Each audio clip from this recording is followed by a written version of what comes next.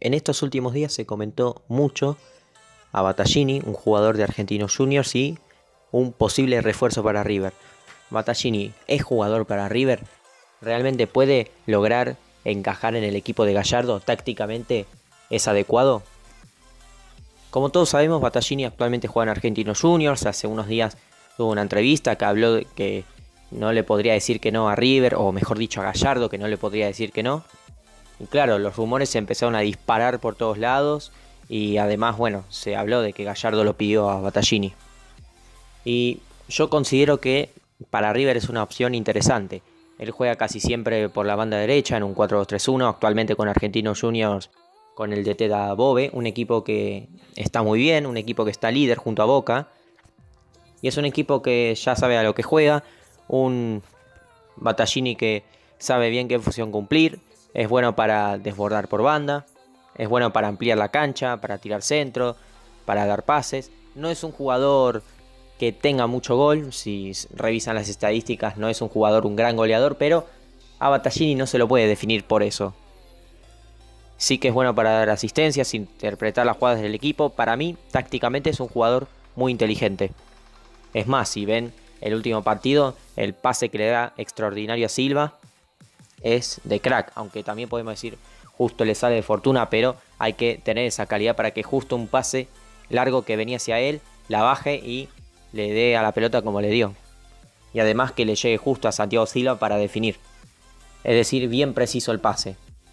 Y Battaglini es un jugador que ayuda al equipo, ayuda en la recuperación, tiene mucha movilidad, tiene participación. Ya lo dije, tiene esa movilidad, sabe correr por la banda, y viendo cómo es River hoy y viendo que ya se va Palacios, creo que lo que busca Gallardo es mantener ese 4-4-2, jugar con Nacho Fernández más por el medio junto a Enzo Pérez, que Nacho Fernández ocupe la zona que ocupaba Palacios y que esa banda derecha de Nacho Fernández la ocupe Battaglini. ¿Qué pasa? Que cualquiera que conozca a estos jugadores sabe que Fernández y Battaglini son totalmente distintos. Nacho Fernández uno ve que usa la banda derecha para generar verticalidad, meterse por dentro, hacer esas diagonales que él siempre hace. Y Battaglini es un jugador que creo que Gallardo lo ve para abrir la cancha, para dar una mano defensivamente, para que en lo posicional esté ordenado, para tirar esos centros que a veces cuando el partido se te complica necesitas o cuando el jugador desborda y tira un centro atrás, que muchas veces lo vimos en River. Desborde, centro atrás, patea al 9 o el jugador que llegue y gol. Y Battaglini tiene esas características y creo que realmente si Gallardo lo trae a River creo que puede ser una gran incorporación si se lo gestiona bien.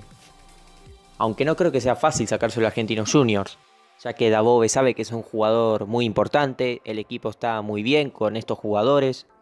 Y claro, en los equipos chicos, cuando le sacas un jugador y se empiezan a ir los mejores jugadores, ya se empieza a desarmar y es muy difícil reinventarse. Pero creo que si Gallardo piensa en Battaglini me parece que no tiene que dudarlo porque es una gran opción. También podría jugar en la delantera viendo que tiene capacidad, pero yo creo que lo veo más para ese mediocampo jugando en la banda derecha.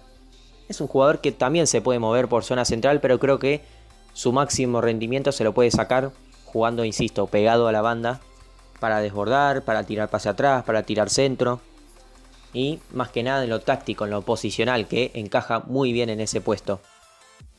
Así que esta es mi opinión del caso Battaglini y del por qué considero de que para River sería una gran opción.